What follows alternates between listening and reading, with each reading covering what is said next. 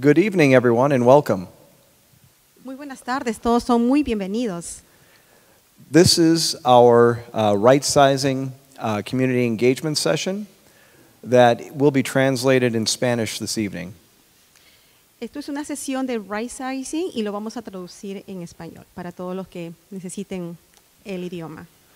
And I'd like to give a special thank you to Cassandra Davis for being with us tonight to translate uh, this program. It's an honor for me um, to support the community.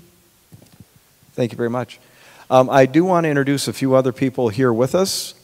Um, Mr. Chris Keckler is our um, Educational and Accountability Director. Ah, estamos este, presentando al señor Chris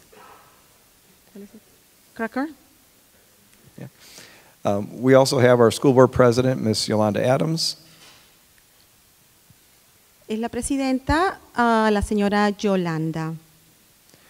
as well as a team from Davis Demographic that will be uh, conducting this uh, major portion of this presentation. Y tenemos al, al, al Team Davis. Ujú. Um, a couple items before we get started. Um, first off, I want to share the goal for this evening. Algunos em, temas que van a, va a tomar ah, antes de empezar esta tarde. There are really uh, three goals. The first one is to present data regarding enrollment trends and our building capacity.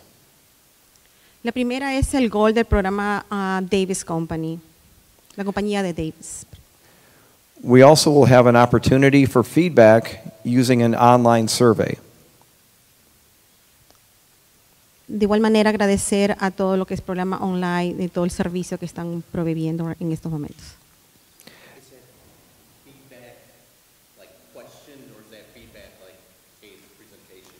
Questions, questions related to right sizing. Yep. Es acerca de eh, preguntas que van a, vamos a llevar a cabo acerca de este programa.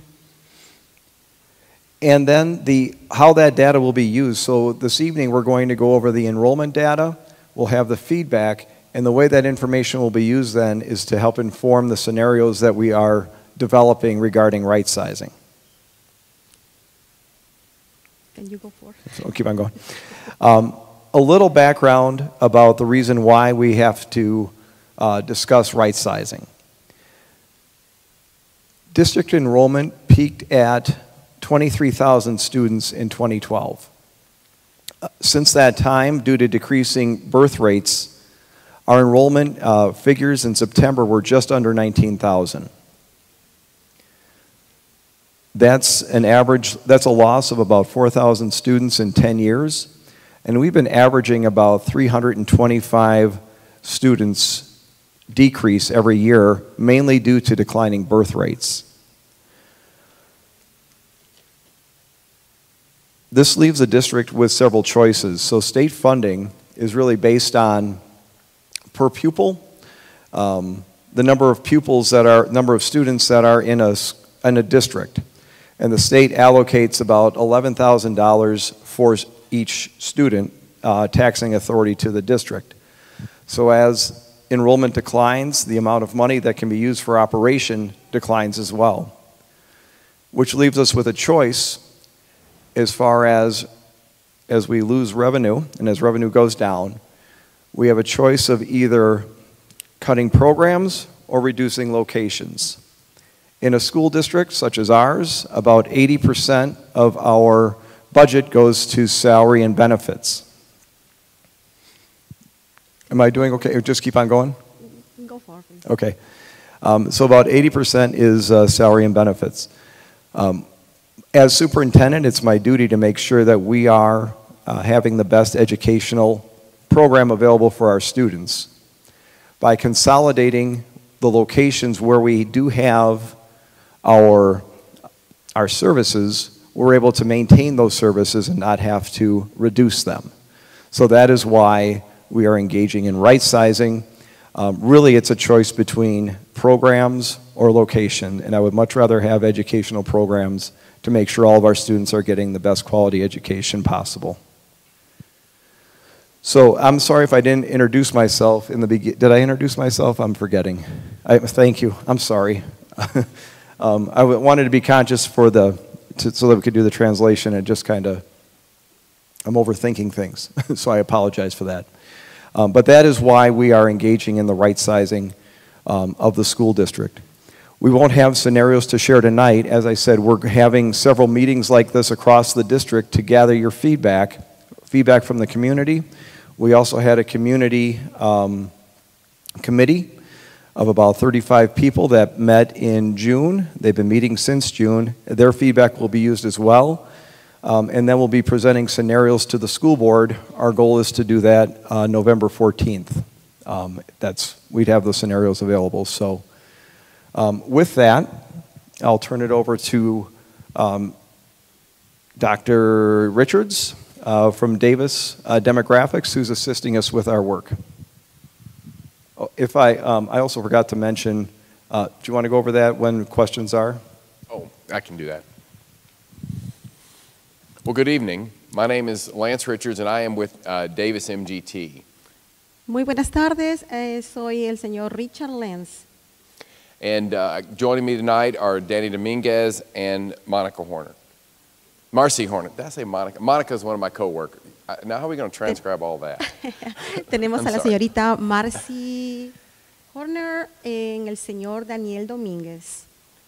So I I we appreciate you coming out for, the, for our event this evening. I know that you have many other places you can be, and we appreciate you took time to be with us this evening. Eh, se le aprecia mucho los que están presentes aquí, podrían estar en otro lado, pero vienen acá um, a compartir este, este evento. So a few housekeeping measures. Esta es, esta es la agenda que vamos a empezar. Um, just a, a quick outline here. Um, we're going to talk about, as you can see through here, we have about seven items that we wish to cover. Eh, para empezar, son siete temas que, que se, da- se dará a hablar. And, and if you would please, if you can hold your question till the end, we're going to try to work our way through all the data um, and, and, and through our community questions, and you'll have opportunities for responses within the questions. And many of your questions will be answered as we make, I'm, I'm confident that many of your questions will be answered as we make our way through this process. Eh, al final de todo vamos a tener un tiempo para que ustedes puedan hacer sus preguntas, eh, alguna preguntas que ustedes tengan para que ellos les puedan responder. All right. So, just a little bit of background on how we do what we do, and kind of the, uh, the magic ingredients that go into the pie, if you will. A continuación estaremos hablando acerca de todo lo que es este el, el conjunto de datas. And so, as you can see here, we have current, oh, sorry, I got to press the right button. We have current historic student data. So, what we do is, is we look at birth factors, mobility factors, and student yield factors to bring down and create student forecasts. A continuación, como ustedes verán, tenemos lo que es datos de los estudiantes actuales e históricos, tenemos también todo lo que son factores de nacimiento, factores de movilidad también, em, factores de rendimiento y al final el resultado que van a ser lo que es las predicciones de los estudiantes. So, starting with birth factors, those are your birth rates that we mentioned before. Vamos a empezar primeramente con todo lo que son factores de nacimiento. Mobility factors are those kids in and out of your district and school zones. Estos son todo lo que son factores de movilidad. And student yield factors, let me back up. The, the mobility factors deal with your existing housing stock, the existing homes, the existing apartments that are within your district. Mobili- the Mobility factors. Could you re- I'm sorry, could you repeat again, Yes. please? uh, So mo- the mobility factors, the numbers that we generate for mobility, work with your existing housing stock, your existing homes and existing apartments that are already here. Ok, eh, en todo lo que es este, en esta, en esta parte de factores de movilidad, eh, está incluyendo todo lo que es eh, las casas existentes, los estudiantes que están aquí en, la, en, esta, en esta ciudad. And then your student yield factors, that's a fancy way of saying new development. So those are going to be the new homes and the new apartments that come on and how many students we draw out of those new developments. En lo que es este factores de rendimiento estudiantil serían todo lo que es ah, las nuevas casas, los nuevos estudiantes en esta zona. All right. So, starting with birth factors, birth rates. If you will note, these are the primary zip codes for the Kenosha School District. Como pueden ver ahí, todo es lo que es este factor de natalidad y participación del mercado que dice la parte de arriba y están de acuerdo a, a los, este, a los códigos, códigos postales. And the, the 12 to 17 represents the year they were born and the year that they would enter your kindergarten. En cuanto al 2012 al 2017 son aquellos que nacieron y están en el kindergarten. And what we're seeing is a declining birth rate in the majority of your of these areas. Which one?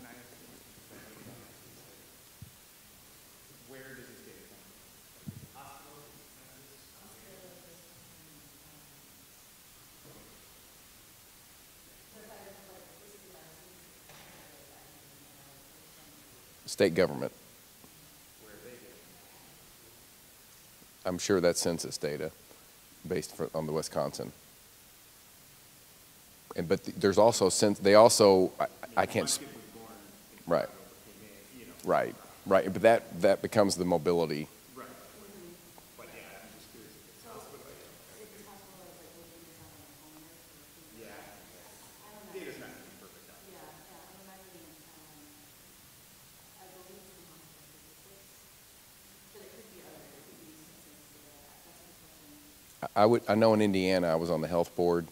and so each county then had to report live births back up to the state. So the state then had a database of birth, births by county based on, uh, based on that reporting. That was a good question. So on the right-hand side, you have a historical correlation of birth versus kindergarten class. And by this, we mean 1,614 children were born, 1422 showed up five years later for kindergarten.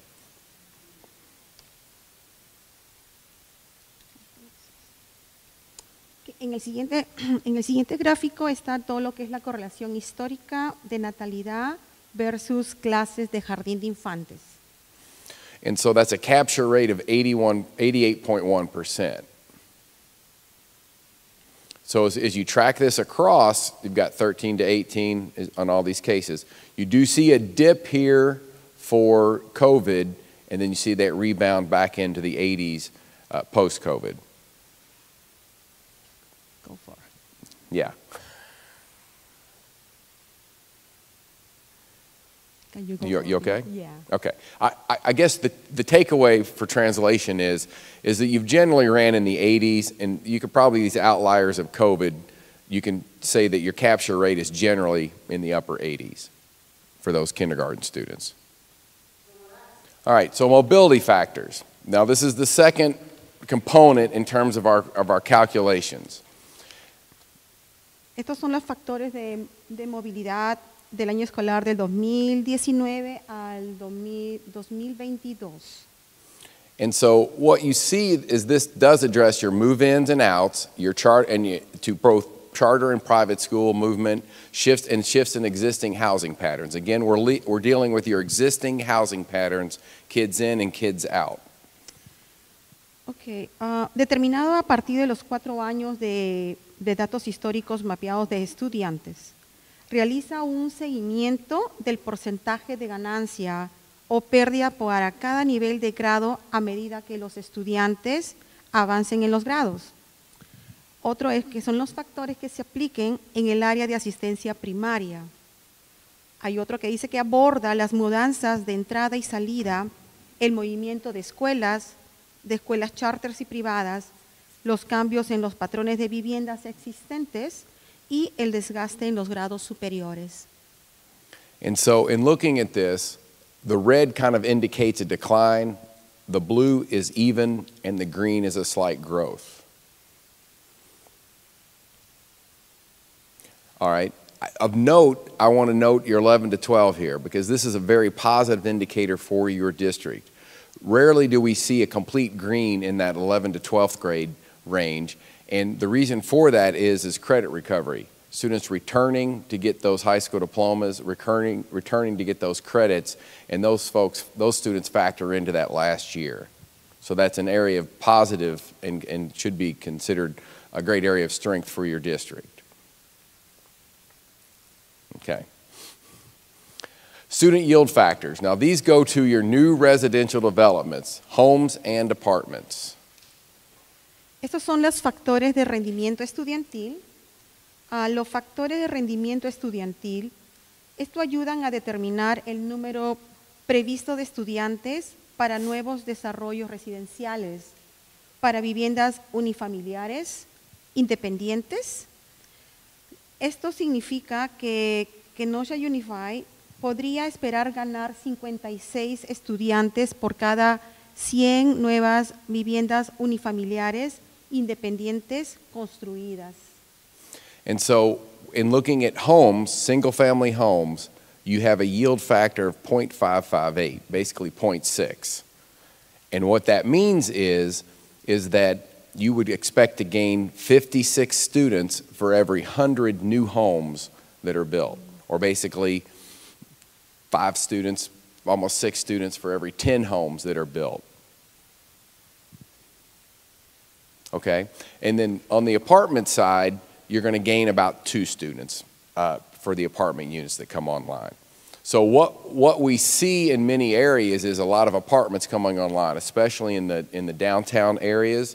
And many of those are studio and one bedroom apartments. And to be honest, those don't, don't generate a lot of students in general. And if they do, the students that come in may stay a year and move on because they want uh, larger housing.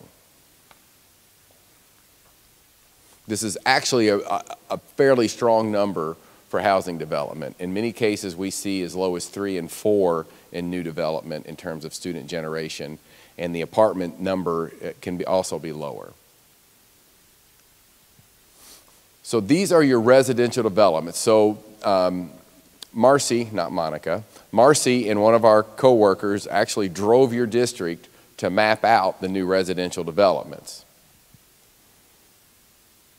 And you can see here, based on the color coding, where like the red is apartments, blue is multifamily attached, say duplexes, that sort of thing, and then you've got single family detached um, listed. And so you can see basically down, I guess that's 104th Street, there's some new development and that sort of thing. It's just kind of interesting to see where the growth is. En esto están hablando sobre lo que es desarrollos residenciales y se están realizando un seguimiento de 12 nuevos desarrollos residenciales en todo el distrito. En la previsión se incluyen 604 uni nuevas unidades residenciales. All right, and so these are the units by elementary zone. And, and I, I do need to quantify this. We're going to be talking a lot about at elementary attendance zones this evening, so that, because that's kind of the breakdown for how we quantified uh, the forecast. So in this case, not all elementaries got growth, and you can see Whittier got 30 or 172 units, 32%. Uh, Stocker's over here at 18%. Uh, Brass, I believe that's 11% for them. So you can just see the breakdown of new units. En esto son las unidades por las zonas primarias. Aquí en, a continuación van a empezar a, va a empezar a hablar de todas las escuelas elementales. Eh, están organizadas de acuerdo a un cierto porcentaje, de acuerdo a las, a las unidades también. All right, student density. I think this one's a fun one from a, just a data nerd standpoint of the, the, the, density of students in, in, in, a certain, and you would expect the downtown area to have, and the more, the core to have more students, uh, kind of a, a, hot spot here, and then as you can see out and around Somers and the, in the, into the southwest quadrant, far, far less density of students. Esto habla sobre la densidad estudiantil de enero del 2023. Lo que ven ustedes, las áreas amarillas indican una mayor concentración de población estudiantil, mientras que las áreas sombradas en azul tienen menos estudiantes. And now there will be a test on this afterwards, so hopefully you've prepared. There, there's a lot of important information in this, in this sheet. And so, um, in terms of translation, do you want me to just run through it and then maybe you come back and interpret? Okay, let's try that. All right, so there's a lot going on here, but it's, there's a lot of information that can be culled from this. So if you, as you look at your schools, and you can see these are the number of students living in the, in, in the attendance area. So in, at uh, McKinley here, there are 400 students that live in the attendance area for McKinley. But as you draw across, you'll see that 100, only 168 of those students actually go to McKinley. As you, as you, so 15 of those are in, in the programs there at EBSLA. Uh, as you go across, 10 of them, those are going to Roosevelt. So you can see where all of the kids land based on where their residence is and where the very differing schools are. So if you go down to, say, Whittier, 418, a significant number of those, 311, actually go to Whittier. But as you come across, 15 are at Roosevelt, 10 are at um, Jeffery, and so forth. I, I will say that um, an area of strength for your district, something that should be applauded and showcased, is the amount of choice that's allowed within your district. Because I've traveled the nation uh, working in schools in the last 18 months, and that just isn't something that I see regularly in other districts, and certainly not at this level. So it's kind of interesting to see, you know, all of the choices that can be made for your parents in terms of going forward, in terms of the other specialty programs as well but you can also see the choices that parents are making in terms of where students are attending. And down at the bottom, you've got out of district students, and that gives you a total as you run across the bottom. You want to take a crack at that?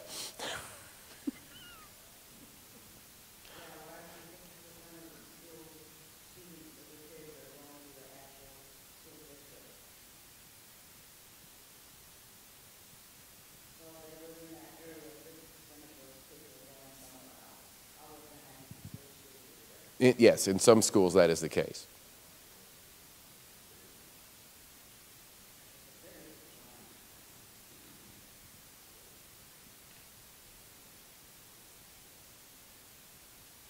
You want to keep going?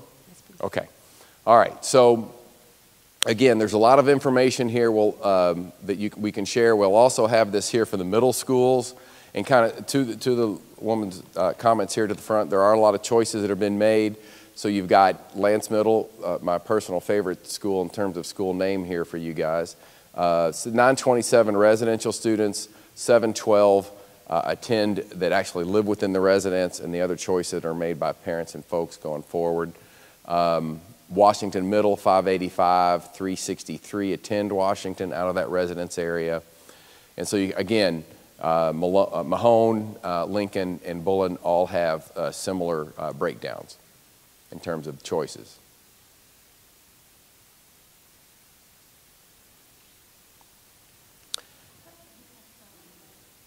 Pardon? It's over here. So, the, good point though. So, these are the boundary schools. The residents are broken down into the boundary schools, and then the specialty programs are listed off to the right.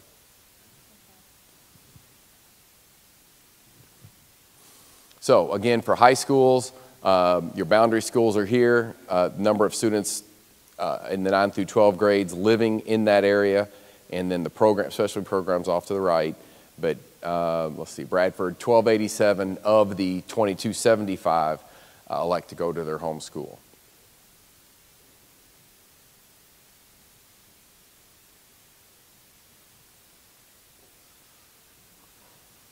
Okay. Utilization analysis. Now, this is so you've got school capacity enrollment, but then you also have utilization. Utilization is the effective use of space in a given building. Esto es uh, el análisis de utilización. Eh, la capacidad escolar y la matrícula deben estar alineadas para una gestión eficaz de las instalaciones escolares. Las escuelas con un uso ineficiente del espacio están subutilizadas. Cuando la capacidad excede en las inscripciones, los costos operativos son más altos de lo necesario. So uh, it's important to note that 100% is not the, um, is not the goal of utilization. That we're looking at this 80 to 95% range in, in order to have um, adequate use of a facility. And the reason for that is, is that kids aren't broken down into that 18 to 20 kid increment. So you may have a year where, you may have a school where it's a four section or four track school, which means that you've got four kindergartens, four first grades, four second grades, four third, and fourth forward. But one year you may have a bumper crop and have an extra kindergarten class, but maybe only three third grade classes. So they're not all, bro- and then you may have an extra set of move-ins. So one class, one set of classes is at 27, the other set of classes is at 18. And so you you can't drive that utilization to 100% because it just doesn't work that way. Also, in your high schools, your AP classes, your labs, and some of your tech and CT and all those things are going to have varying numbers in enrollment, but your orchestra and your band and some of those other areas may have 80 kids in a space. And so that percentage of utilization, that target, allows for the bumper groups and the, dis, and the differing levels of class sizes at the high school levels, at secondary and high school, or middle school and high school levels.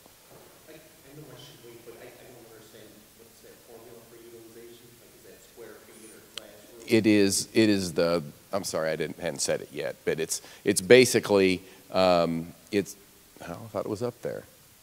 Well, excuse me, I'm sorry. It- It's a, originated from a facility standpoint, so square footage of classrooms, not of the whole building. You know, we don't include offices or closets or anything. So it's the square footage of that, but then we then did a buffer reduction, so of eight percent at the elementaries and five percent at the secondaries for, for some of those scenarios. So again, it's not a goal of maxing out these locations, but getting them to a nice point where it's the mixture of efficient use and enough students to help support the resources. yeah, yeah, It's it- classroom size, yep, Yeah, it's basically, if you had 10 classrooms and you just decided that the classroom ratio is going to be 20 to 1, now you got a 200 kid building. Yeah, but, but we factor in desks, chairs, so it's, Right. not just an empty room. We, we build in resources, cabinets, things like that. Yeah. Yes. It's, it's square footage available in the classrooms. It boils down to classrooms, number of kids in classrooms in terms of utilization. And, and not all classrooms are the same size, so facilities went and did an audit of classrooms, square footage pertinent to that size with other supplies within, in the room. So- Oh, Go ahead. La siguiente clave ah, muestra las tasas de utilización de los edificios codificados por colores para identificar las mejores prácticas para el uso de los edificios. So again, the, so we've got this color coded. So when we come over to the other, to the next slide, you'll see that the green is that adequate space. It's that target. Pink goes to inefficient. Red goes to inadequate because you're overcrowded. It's an, uh, so in a in an overcrowded building, what you run into is crowded hallways and, and cafeterias that can't get everyone seated or get through uh, lunchroom in, amount, in a, an appropriate amount of time. In an, in, on the other end of that spa- space, you have inefficient use of space where you may be using rooms for storage or, or you're allowing just a tutor to have a, their own classroom because there's space and why not. So both of these present problems operationally for your school district. All right, so here's your utilization analysis. As you look at this, we've got a lot, you know, let's be all honest with one another. We've got a lot of pink on the screen. And so as you look at your larger map to the side, you can see the utilization in terms of color codings. Um, as you just glance down through the chart here, uh, Pleasant Prairie is at 81. I think this is uh, Nash is at 87. Uh, Strange is at 81. Roosevelt, Roosevelt 105. Jefferson's at 103. One thing we do need to note about Jefferson is their total capacity is only 207 students. So a, a- few students, one way or another, can, can uh, vastly uh, impact their percentage of utilization. Okay. And then on to the height, the middle, I'm sorry, middle schools, you can see uh, the color coding as well. Of course, a larger foot, footprint boundary wise. Um, numbers not quite so dramatic at Bullen and Lance and Mahone here, but you can see with Lincoln and Washington, we're down into the 40s.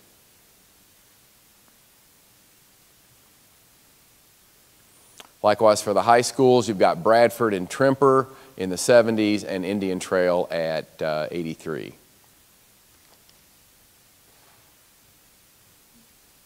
And again, these are going to be your, your boundary schools um, uh, in terms of their uh, residents and capacity, or in terms of their, enrollment and capacity. All right, so uh, this is going to be another one where there's quite a bit going on. If I haven't said this before, um, what we're doing, and we're not playing checkers. We're playing chess. There's a lot of moving parts here. There are a lot of considerations, and the forecasted resident of resident students is a part of that process.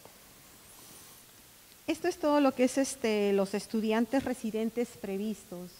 En la parte de arriba, como dice, los residentes previstos y basados en donde se encuentra la dirección del hogar dentro del distrito. La parte de abajo indica que los pronósticos que se generaron utilizaron los datos en el censo del, del del mes de enero del 2023 como So- base de datos. So in this one, as we spoke earlier, we talked about impact of housing projects. Okay? So that is think of your resident students as a pie. So what's baked into your pie now is impact of housing projects. So new residents, new new on, new units coming online are baked into this into this formula. Likewise, we talked about impact of mobility, and mobility deals with your current housing stock and the choices parents make in terms of moving in and moving out of not only the homes in your district, but also the schools and the facilities and the programs and the varying offerings in your, in your district. And, and baked into that would be new residents, folks moving into your community. So if you take away nothing else on this screen, if nothing else in looking at this, kind of to your point earlier, ma'am, about the number of students choosing to enroll within the school, you're looking here in, in kindergarten in 2023, 1264 enrolled. If you come down to here, 1657 are going to go out the door. So if, as you run that line back, you can see the numbers are pretty good for your secondary, your high school into eighth grade. But as you move on back, 13, kind of, and again, uh, kind of back to the kind of the birth rate discussion earlier, it's not a dramatic fall off a cliff, but it is a general trend in, in, in the wrong direction. And kind of, and, and, and kind of back to birth rates for a moment, you know, there's a lot of reasons for that. And we, again, we see that in a number of places where we work. In large part, number one, you don't see the large families you used to see when, we, when I was a kid. We had a lot, of, a lot of larger families. Now, if you saw somebody with three kids, you'd go, oh my, that, that's kind of out of the ordinary. Also, folks are delaying births. So they're, you know, it- when I, I'm going to date myself here, but, you know, we had our kids by the time we were in our mid 20s, late 20s, the family we were going to have. My own children are not having their kids until their late 20s, early 30s. And so delayed birth also impacts the choices or the, the enrollments that you might see. But this is a general trend that we see everywhere, not just Kenosha. So the only way you overcome the declining birth rates or the trends down is through folks coming in.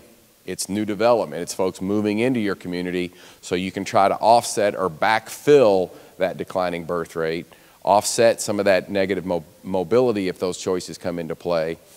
So again, if, as you're looking at these numbers, 1264 in the door, 1657 out the door. And, and that's kind of the general trend that you might see. All right, so forecasted resident students PK5. Kind of going back to our just our general model, we've got a current year and you've got your trend line down. And as your superintendent shared earlier, that's kind of been your trend line for the last decade, plus or minus 300 to 350 students a year moving forward. If you quanti let's quantify that 350. That's basically an elementary school. It's a small, that's a small elementary school that, that doesn't come back, that is gone in the, in the coming year. All right, uh, students six through eight, 4,036. 4, Again, you can see kind of as you go across. And then uh, students nine through 12, 61, 69, and going across. Now, one comment I would make about forecasting, and I, and I should have made, I meant to make this uh, back in our earlier one. When you're looking at forecasts, we can be very confident in our forecast for the next three to five years, much like a weather forecast, the local weather forecast, uh, when you're watching television or the, or the local news. You get a little farther out, and then you got to kind of monitor the situation. So it is important that we update our resident, our forecast, you know, each year so that, you know, again, that three-day forecast becomes another three-day forecast, becomes another three-day forecast as we move forward. So this is your resident student projected net change. And in what, when we do our study groups, our study areas, we chunk out basically each of these zones to include roughly 100 students in these segments. And so in these segments, what you can see is roughly 100 kids in each segment and the forecast for each of these segments going forward. So basically in red, that's a 15 to 30 student loss over time uh, in the next five years. Uh, white is no change. Uh, let's see, what is that? What did we said that color was? Salmon. That was not in my Crayola box. Salmon is basically 1 to 15 student loss, and then you see growth on the other side of that with blue. Student residente ca- cambio neto proyectado para el año escolar 2022 a 2027.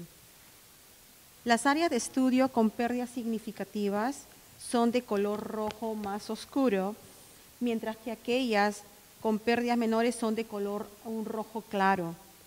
El blanco indica que no hay cambios netos en el área de estudios. Las áreas de estudio con crecimiento significativo son de color azul más oscuro, mientras que aquellas con crecimiento menor son de color azul ah, más claro, celeste. So I'm going to quickly go through these next set of slides, and these, these are in your packet as well. Uh, these are shared with you so you can kind of see the individual schools and you can see what their capacities are and kind of what their trend lines are in terms of uh, available um, uh, seats for students. One caveat EBSOLA and it's, I believe Vernon both have additional programs in the building. So when you see their charts, they're not exactly accurate because there are other programs within those two facilities. But for the other schools, such as Bose and Brass, as we move our way through, you can see that, you know, capacity is 437, they're at 351, and this is their general trend line. Um, the orange is your current year. That, these are the resident or the boundary Yeah. enrollments, as, as if all of the kids that are of that age group went to those schools. So, so, and that's why we're, able, we forecast out for the boundary areas, but you do also have the charts for the enrollment. The utilization is based on the en- actual enrollment that's been in there. But now as we, fu- it, it, it does. Yeah, Well, and It- that's, re- and those are reflective of this choice. yeah. Yep, Right. yep, and we're, we're. Yeah. That's why some will be above the red line, but part of that is because neighborhoods or population shifts move, and if all of those families, because everybody has a right to their boundary school. And so if, if everybody chose that option, there are some of these where you'll see them for a couple years above the red line, which is a concerning uh, liability. So, yep. Good question. All right, so uh, brass, I'm just going to go through these very quickly. Um, Forest Park, Frank, Grant. Again, this is the resident students in, in their attendance zones.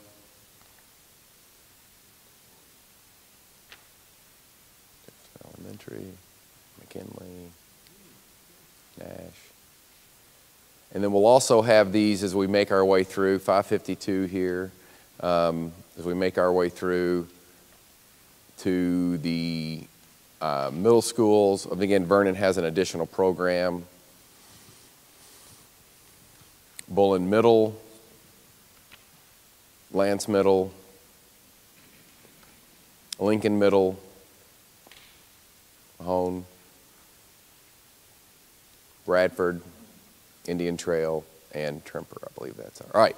So this the facility condition page here is intended to give you a snapshot of the facility conditions for each of those buildings based on the assessment, the columns that you see.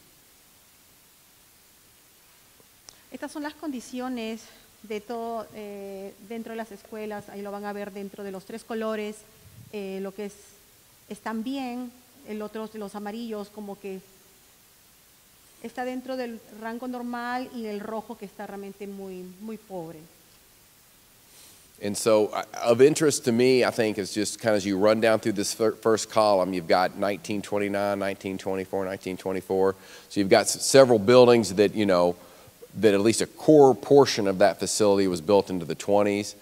Um, and as you make your way across, um, you can kind of see where the district's eye would be in terms of deferred maintenance on these facilities. And again, similarly here with the middle schools and high schools, um, as you go forward. Interestingly, Washington, you know, their roots are 1920.